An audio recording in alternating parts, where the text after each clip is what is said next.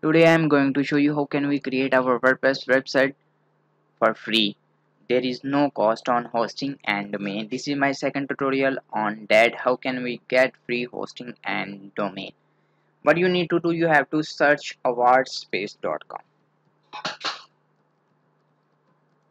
Okay, there you see an option free web hosting. You have to click on that sign up page you can sign up with your google facebook and your email. You can use whatever you want. I have created my account on this platform award space. I need to log in with my account. You can use your google account and uh, email and facebook. You can register yourself by clicking on register button. I need to log in. Okay. I'm going to log in with my account after that we I have to put my username. I have write my username and password over there. Now I am going to log in. After successfully logging into the control panel you have to visit hosting tools. And under hosting tool you have to visit domain manager. After that you have to set up your domain name and you can choose any one you can create your own free domain. Create a free subdomain under register a domain okay? Click on the uh, in text box and uh, you can write any name here over here Slaria you can use subdomain any of the subdomain my games online.org okay? By clicking on create button it will create your subdomain okay? Your subdomain successfully created okay. What do you need to do now? Click on open website. Click on open website. Now first of all you have to go to the control panel. Next upload your website. You or use your Zacky website builder install third step enjoy your website. You can see control panel over there. All the control panel are same. Okay. You can see that hosting tools. There are a lot of hosting tools. You can use your custom website your email uh, wordpress website. All website hosting services are available. Under hosting tool you can see that website manager.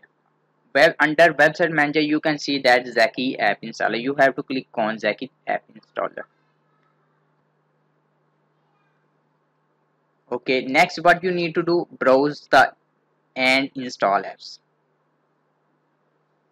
okay after that you have to what you need to install. I need to install WordPress. Okay click on WordPress and proceed to the step 2 okay there you can see choose a title for your website. What do you want? Free hosting by Sulehri okay you can use whatever you want. I will use choose my password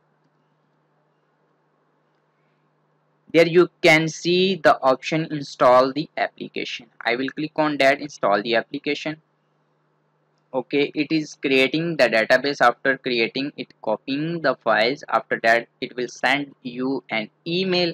You can click on that login credential to your gmail account. After that you can visit your website and you can customize and design your website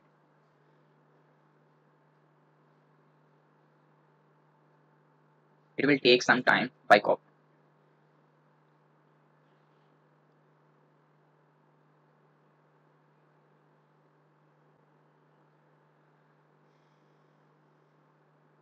your wordpress website successfully installed. Now what you need to do you can visit your own website. You can visit your dashboard by clicking on this link.